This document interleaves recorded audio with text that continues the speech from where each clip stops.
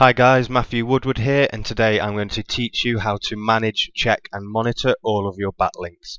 In this video you will learn how to manage huge link campaigns effectively which will involve checking and monitoring unlimited amounts of links, how to create detailed reports about your backlink profile and naturally how to schedule and automate the entire process. So let's get stuck in. If you've watched any of my tiered link building tutorials then you'll probably be familiar with this spreadsheet. I use a link tracker like this to keep a handle on what's going on with my link campaigns, but it's a pretty long and manual process to put together. First of all, you need to know exactly which link belongs on which tier and separate them out into tabs like this. Then you have to make sure that tier 1 is linking to the money site, tier 2 is linking to tier 1, and so on, which means you have to create three or four Scrapebox checklinks projects and then import all of the data one sheet at a time. All that really shows you is if the links are still alive or not. You then have to set up two other projects to check for the page rank and the index status of each URL. There isn't really any meat to creating a report like this. You can't easily see how many links this tier 1 link has, or get an overview of the anchor text breakdown, how many use generic keywords, how many use naked URLs, and so forth. But in the past couple of months, I've stumbled across a much better way to manage your backlinks. Let me introduce you to Inspyder Backlink Monitor.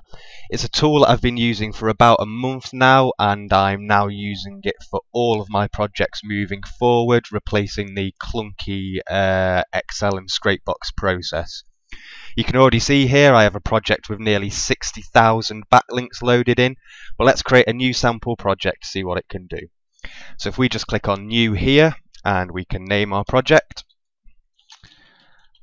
and the root URL or the money site that you are promoting and click on OK. Then all you have to do is get a list of your backlinks and paste them into this box. There's absolutely no need to separate out your tier 1 links from your tier 3 links. Just paste them all in this box in one go and click on go and that will automatically go out and fetch all of the data for these backlinks and also sort out the links into the various tiers. So while that's running, I'm just going to pause the video and we'll be back shortly. So you can see it's only taken a couple of minutes to check all of these links. On the main backlinks tab, you get a complete list of your links along with important stats such as where it links to, the current status, how many outbound links there are, if it's no follow or not, the domain page rank, the URL page rank, whether it's indexed or not, the anchor text, and the IP address. The changes tab I will come back to. If you jump to the anchor text tab, you will see all the different anchor text used and a breakdown of its frequency, how many unique IPs, unique class Cs, and unique domains are using each anchor text, which is all very handy information. But the real magic is the link hierarchy tab where it automatically sorts all of your links into their respective tiers on its own. So if we just have a look at some of these, here's our money URL and here's all of our tier 1 links. And then we can drop down here and see a tier 2 link pointing to our tier 1 link. And then we can see all of these tier 3 links that are pointing to our tier 2 link to the tier 1 link and up to the money site. So as you can see, just this general overview is pretty powerful, but it goes a lot further than that. The reporting options that it gives you are really good. Uh, you get things like the summary here, so you can get an overall summary of your backlinks and various stats. You can look at the page rank breakdown for the individual tiers by domain page rank or actual URL page rank and you get an anchor text summary where you can see how many of the links use a generic anchor text which comes from a predefined list which I'll show you in a minute. How many use naked URLs how many use actual keywords and the percentage breakdowns of those. And if you want to add your own generic anchor text you can do so here. This is just the default list and you've also got the selection tool so you could say I just want to see all of the links that are not indexed from the first tier. Click apply and you'll see in the background there it is uh, automatically highlighted all of our tier 1 links that are not indexed. So we can just right click copy those URLs and then submit them into a Scrapebox auto approve project or something like that to go and get them all indexed up you also have the option to export a CSV report with vari various options here. Um, I'll just show you a sample of that report here. It's very similar to the um, backlinks tab that you'll see.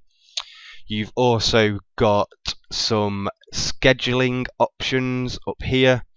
So you can tell it to uh, automatically update all of the links for you every month or, or whatever.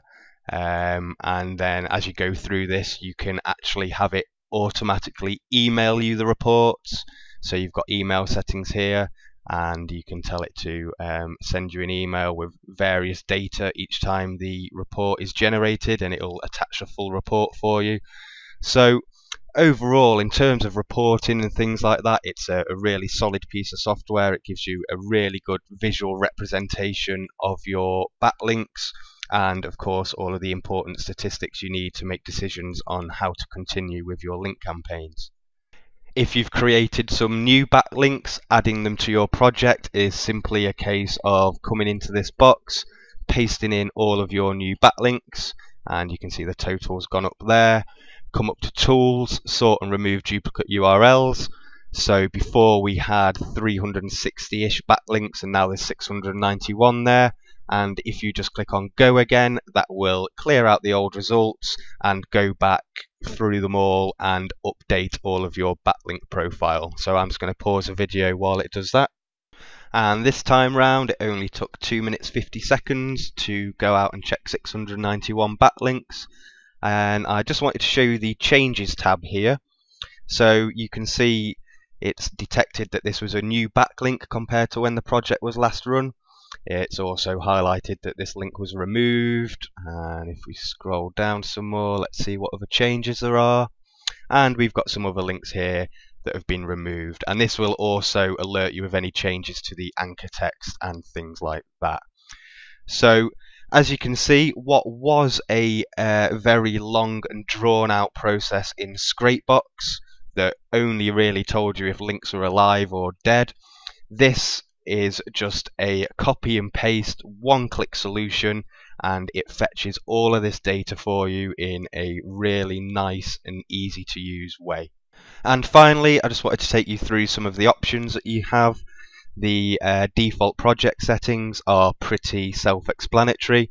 The crawler settings I leave at default, although I have requested that the devs increase the amount of number of threads available and you also have the option to set up proxies. Um, I recommend that you get at least semi-dedicated proxies if you're create if you're going to be checking the page rank and index status of thousands of URLs. You're definitely going to be needing some private proxies.